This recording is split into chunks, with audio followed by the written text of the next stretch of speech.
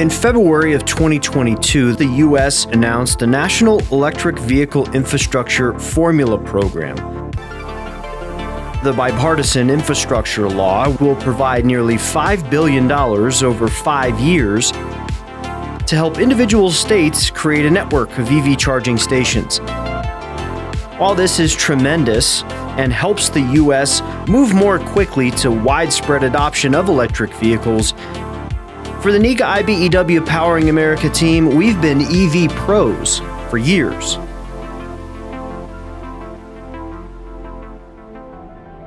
The Great Smoky Mountains National Park sees between 8 to 10 million visitors a year, not to mention those who live here full time.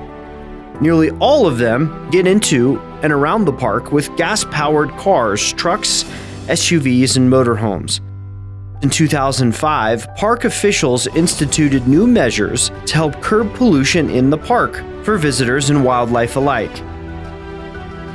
NECA contractor Broadway Electrical Services Company helped to install 24 charging stations at the entrances and at various stopping points throughout the park.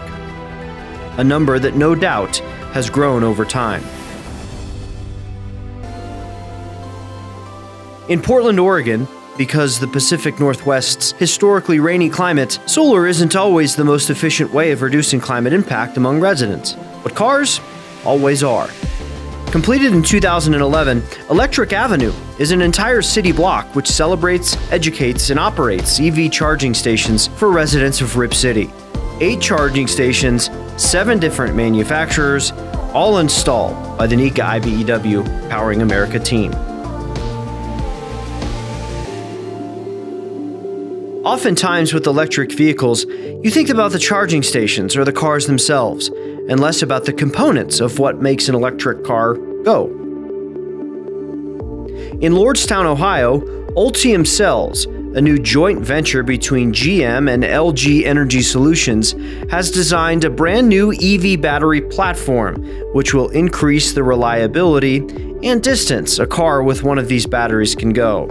Its part chemistry lab part manufacturing plant. 100% focused on providing more options in the marketplace. Ever been to Niagara Falls? The Maid of the Mist at Niagara is one of those things that goes together like peanut butter and jelly for the nearly 12 million visitors per year to this wonder of the world. Getting an up close and personal, misty view is made possible by this fleet of boats, which have recently undergone an EV conversion to ensure the natural beauty of this historic landmark remains that way for generations to come. No matter where you go, electric vehicle infrastructure is a bona fide specialty of the NECA IBEW Powering America team, which is just another way of saying, we've got this.